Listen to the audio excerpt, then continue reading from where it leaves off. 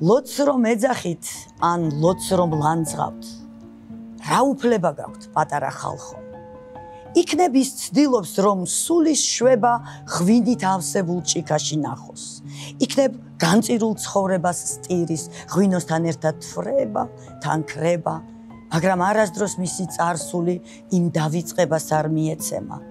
ლოთი დახატავს ან დაწერს რამეს. ლოთი გარითმავს სიტყვებს კუპლეტად. იმ კაცზე ლოთი არ ითქმის, რადგან ლოთი არასდროს გეტყვის უხეშად. ის თავის ბედზე გიამბობს царსულს, თუ რა აწუხებს, რა ურევს გზაკვალს. მაგრამ იმ ლოთებს თქვენ ვერ გაუგებთ, რადგან თქვენ თვითონ ლოთები არ ხართ. ბრავო.